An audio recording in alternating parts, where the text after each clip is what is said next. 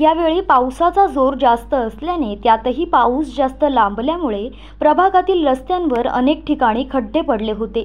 बऱ्याच वेळा खड्डे बुजविल्यानंतर पुन्हा पावसाचा जोर वाढल्याने खड्डे परत जैसे थे अशा अवस्थेत होते. परंतु नागरिकांना गैरसोय होऊ नये आणि खड्ड्यांमुळे त्रास होऊ नये म्हणून विक्रांत पाटील यांनी पालिका प्रशासनाच्या मागे लागून टप्प्याटप्प्याने खड्डे बुजवण्याच्या कामाला सुरुवात करून घेतली आहे. सध्या स्वातंत्र्यवीर सावरकर चौक सारस्वत बँक गजानन सहकारी गृहसंस्था स्टेटस हॉटेल आणि रिलायन्स फ्रेश समोरील खड्डे बुजविण्यात आले आहेत.